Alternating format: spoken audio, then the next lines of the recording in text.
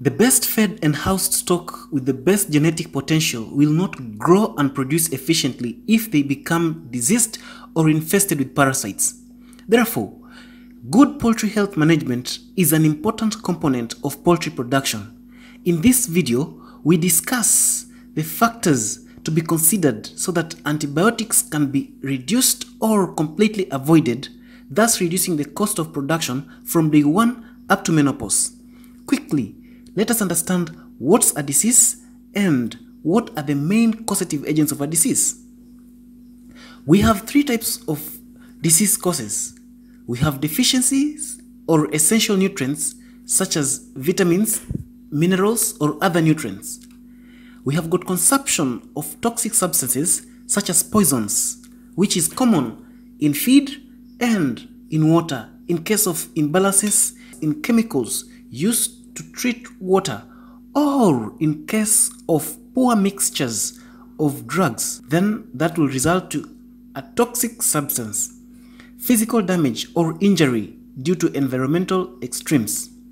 Most common in cage farming or most common during brooding when chicks or birds will tend to get choked by hiding under the geckos and they get burnt or the chicks will tend to be pressed by the three ply or the wood chippings, or rather the wood that is used as a brooder.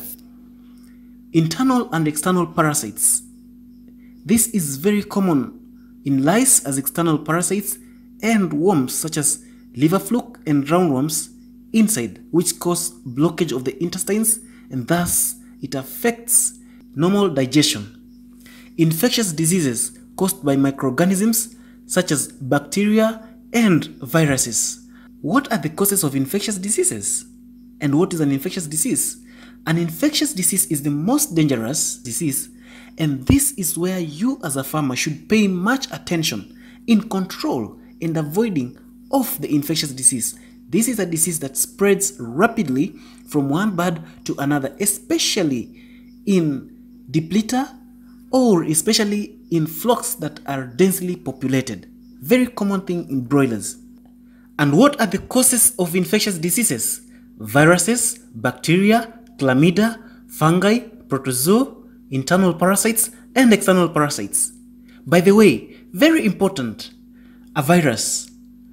Antibiotics and other medicants, as a rule, do not affect viruses, and as a consequence, there are very few medications that can treat diseases caused by viruses, although there are times when a drug may be used to control the secondary infections caused by a virus.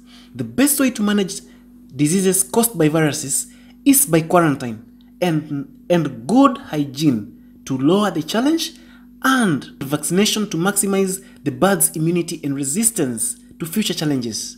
Bacteria. Different types of bacteria harm the birds in two predominant ways. Those that attack and damage the bird's cells or spaces between the cells, and those that produce toxins or poisons that harm the birds. There are several antibiotics and other drugs that can that are effective against different bacteria. However, quarantine and good hygiene that lower the numbers to be targeted by the drugs are the important first lines of defense against these organisms. Chlamydia. Chlamydia are a little larger than viruses. They live inside the cells and they affect particularly cells in the respiratory system. They are the major causes of respiratory diseases, especially chronic respiratory disease, and can be treated by antibiotics. Interesting. Mycoplasmas. These are single cell organisms slightly larger than chlamydia. The most commonly known disease caused by this organism is mycoplasmosis or chronic respiratory disease CRD caused by Mycoplasma gallisepticum. Diseases caused by Mycoplasma organisms respond to some antibiotics, okay? These organisms do not survive long outside the host, and good quarantine and hygiene procedures coupled by suitable house depopulation period will provide a good control. Okay? Finally, fungi. Fungi multiply by forming spores that are released and enter the local environment, especially when feed comes in contact with moisture. It forms a very conducive environment for growth of fungi.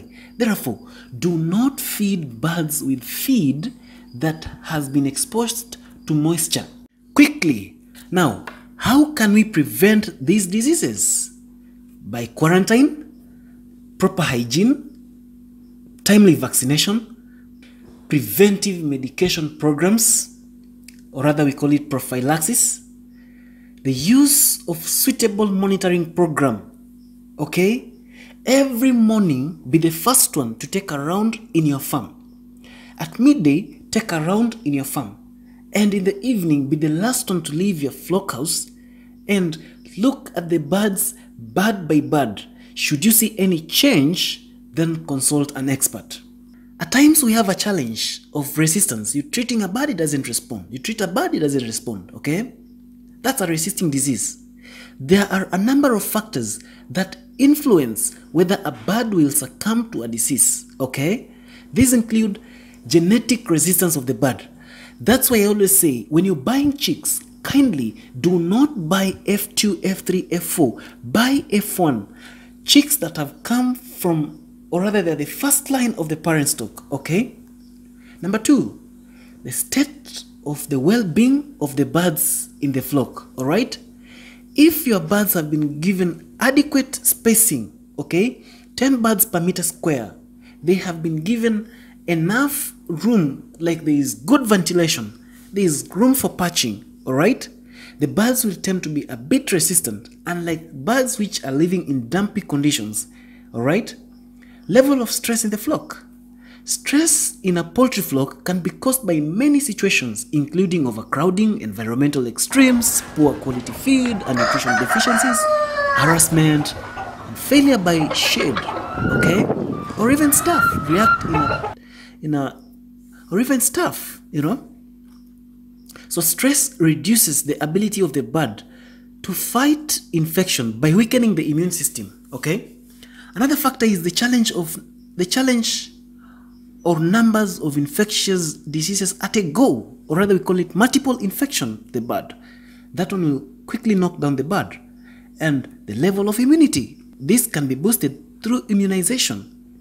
Finally, from my point of view in flock health management, disease in poultry may be one of two levels of severity.